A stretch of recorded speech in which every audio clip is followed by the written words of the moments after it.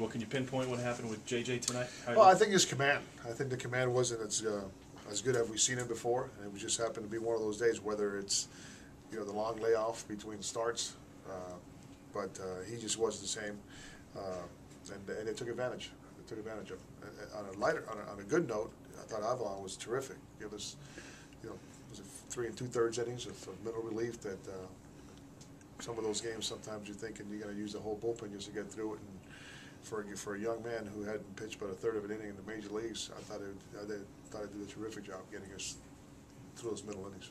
Looked like JJ came up a little bit awkwardly in that play at first, cover, covering first in the fourth inning. Was he okay? The knee was all right? I think the knee was all, I think he just missed the bag. I think he tried to get to the bag and he just, his steps weren't there and he tried to kick it on the way by, on the way by, but, uh, um, I haven't heard anything after that, that, uh, that inning. Couple of innings, you know, weird, the, the- the stolen base that could have been gone either way, you know, they score a run. Uh, the hustle play by Cabrera, they get, him- they get in scoring position with, with, with two outs, and then they get a run, and then that, uh, you know, we don't get the, the out of first base because we missed the bag, and then they end up getting six. So, uh, get it out of the way.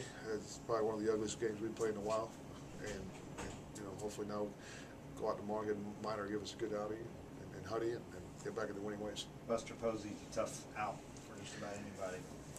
But it- Avalon has to face him there. Yeah, it, it- it's a tough situation, you know. He had faced, uh, JJ had faced him two times before in that situation. I think before that, he's given up, he gave up the walk and three straight base hits to get to that point.